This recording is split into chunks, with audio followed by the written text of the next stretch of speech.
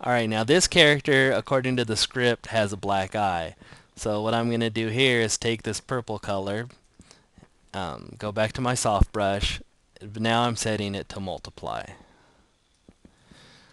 And what I'm going to do here is just add in a little bit of bruising with that. The multiply darkens, it also saturates it a little bit, which is fine because, uh, you know, when you have a black eye, it's kind of shiny and puffy. So there, and now I'm going to set my tool back to screen. Add a little form to this so it's not just a blob. And now she has a black eye. The bandage I want to be basically uh, like her skin tone, like a real band-aid is, but a little bit lighter a little bit off, you know, so it doesn't quite match. And instead of using the color that I screened her skin tone with, I'm just going to use it, the Band-Aid's own color and uh, and give that some highlights here and there for form.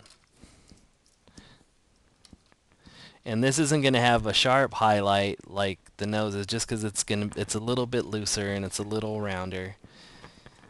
Go in here with the lips I want to make her lips look like they have lipstick on it, which means they're going to have a bit of a sheen to them, a little bit glossy. So I pick my color that I'm going to screen with. Now I set my tools flowed back to 100, use a smaller brush, and I'm going to add some hot highlights first. Now what that's going to do is give me that high gloss sort of a look that I'm looking for. And then I'm going to lower my flow and go with a little bit of a bigger brush and feather everything out. So that now instead of just that one like hot highlight there, it actually, you know, it's it's following some some sort of form. And add my little uh, reflected light back in there. And that's that's the lips. Now for the eyes and teeth, I actually don't want to go with gray. I want to maybe shift those a little more towards purple, purplish, lavender, something like that. And I feel that that gives them a little more uh, life, you know. Maybe if everything's not quite so gray and dirty looking. Now this here is the highlight um, inner eye. This is light reflecting, so that's just going to be pure white.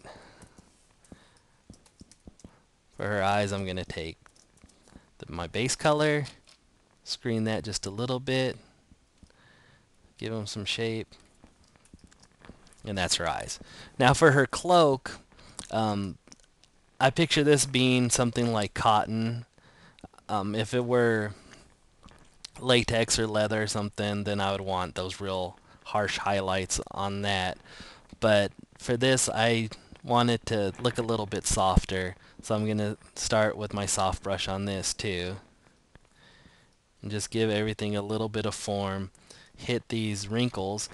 Um, and I don't want to think of these wrinkles as each being its own, uh, you know, entity independent from the rest of of the material, which a lot of new colorists tend to do with muscles and stuff like that. Each muscle is like its own sphere. Um, each wrinkle is its own thing, but this is all part of of one piece, and these wrinkles are all basically radiating out from this one point um, you know, in the hood somewhere.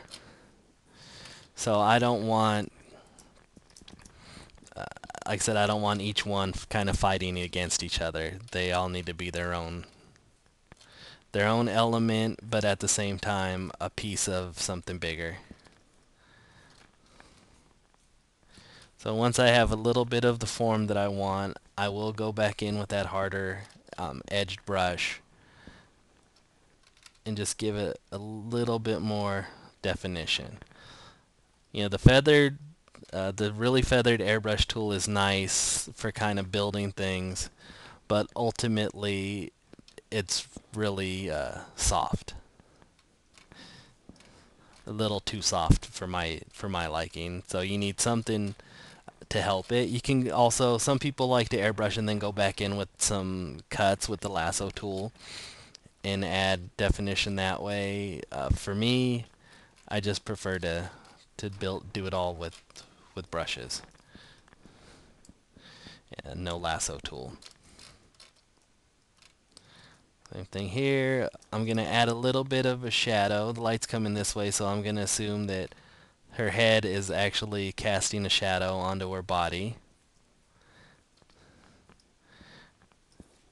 And then I'm again I'm going to go with the bluish color here and just add a little bit of reflected light just to give give her some little bit more depth.